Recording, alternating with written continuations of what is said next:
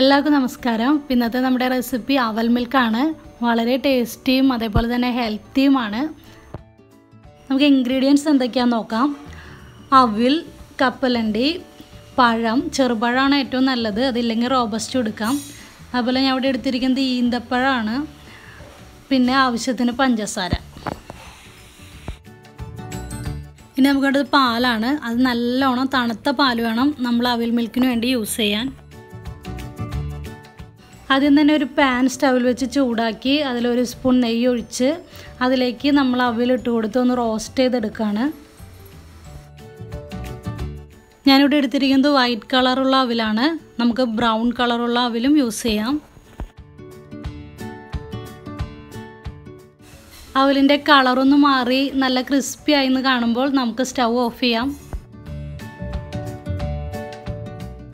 ഇനി നമ്മൾ എടുത്തു വെച്ചിരിക്കുന്ന പഴം ചെറിയ പീസായി കട്ട് ചെയ്ത് ഇതേപോലെ ഒരു ഫോർക്ക് ഉപയോഗിച്ച് നന്നായി സ്മാഷ് ചെയ്തെടുക്കുക. പഴം വല്ലാതെ ഉടഞ്ഞു പോകാതെ ശ്രദ്ധിക്കണം. ചെറിയ പീസസ് വേണം നമ്മൾ കഴിക്കുമ്പോൾ അത് കടിക്കുന്നത് നല്ലതായിരിക്കും. ഇനി ഇതിലേക്ക് നമുക്ക് പഞ്ചസാര ആഡ് ചെയ്യാം.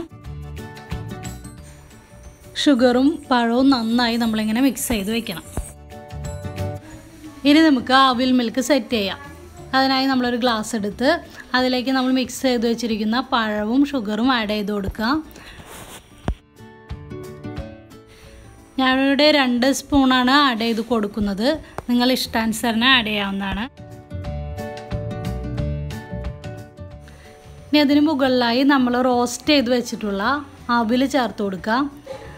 അതൊരു ഹാഫ് പോർഷൻ നമുക്ക് ചേർക്കാം. ഇനി നമ്മൾ ചെറിയ പീസായി കട്ട് വെച്ചിട്ടുള്ള ഡേറ്റ്സ് ചേർത്ത് കൊടുക്കുകയാണ്. ഓരോരുത്തരുടെ ഇഷ്ടത്തിനനുസരിച്ച് അളവ് കൂട്ടാവുന്നതാണ്.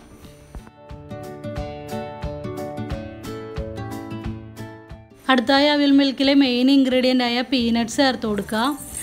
പീനട്ട്സ് എത്ര അധികം ചേർക്കുന്നോ അത്രയും ടേസ്റ്റ് ആയിരിക്കും.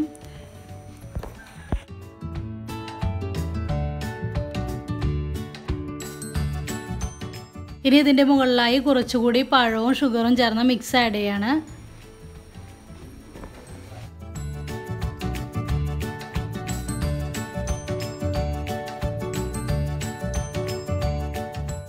ഇനി നമുക്ക് പാലൊഴിക്കാം. നല്ലതുപോലെ തണുത്ത പാൽ വേണം ഒഴിക്കാൻ.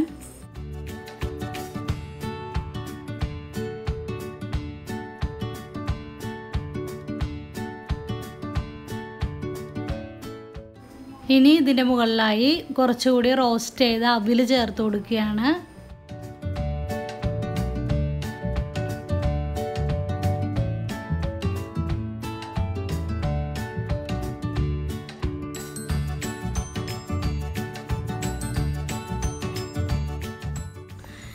ഏറ്റവും ടോപ്പിലായി വീണ്ടും നമുക്ക് പീനട്ട്സും കാഷ്നട്ട്സും ഡേറ്റ്സും എല്ലാം ഇട്ട് നമുക്ക് ഗാർണിഷ് ചെയ്യാം.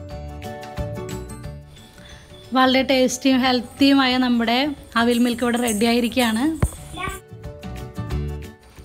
കഴിക്കുന്ന സമയത്ത് നന്നായി മിക്സ് ചെയ്തിട്ട് വേണം ഇത് ഉപയോഗിക്കാൻ. എങ്കിലേ എല്ലായിടത്തും മധുരമൊക്കെ ഒരേപോലെ ഉണ്ടാവുള്ളൂ. എല്ലാവരും ട്രൈ ചെയ്ത് നോക്കുക. പുതിയ റെസിപ്പി ആയിട്ട് വേഗം എത്താം. അതുവരെ ടേക്ക് കെയർ ബൈ